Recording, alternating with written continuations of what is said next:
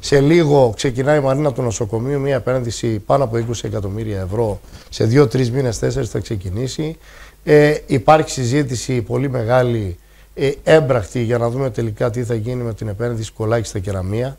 Κάτι πάρα πολύ σημαντικό. Οπότε μπαίνουν, βάζουμε δηλαδή τις βάσεις Βάζουμε λοιπόν τις βάσεις. Τα παιδιά μας λοιπόν που ονειρεύονται να μείνουν στον τόπο τους αλλά με καλύτερες εργασιακές συνθήκες στις ακριτικές περιοχές στους βράχους του Αιγαίου αυτό λοιπόν να αρχίσει να παίρνει σάρκα και οστά με έναν τρόπο αυταπόδεικτο, μετρήσιμο και αποτελεσματικό.